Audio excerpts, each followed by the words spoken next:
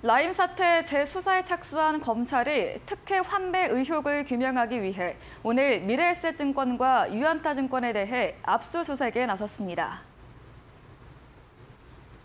서울 남부지방검찰청은 오늘 오전부터 2019년 라임펀드 판매 환매와 관련한 자료 확보를 위해 미래에셋증권과 유안타증권을 압수수색하고 있습니다. 검찰은 확보한 자료를 토대로 미래에셋증권 등 증권사가 특정 투자자들에게 환매를 권유한 배경 등의 위법 행위가 있었는지 등을 살필 예정입니다. 지난 24일에는 금융감독원을 압수수색해 라임 자산 운용의 펀드 환매와 관련한 당국의 검사 기록을 확보하기도 했습니다. 검찰은 금융감독원에서 넘겨받은 검사 결과 등을 바탕으로 제기된 의혹들을 수사할 방침입니다.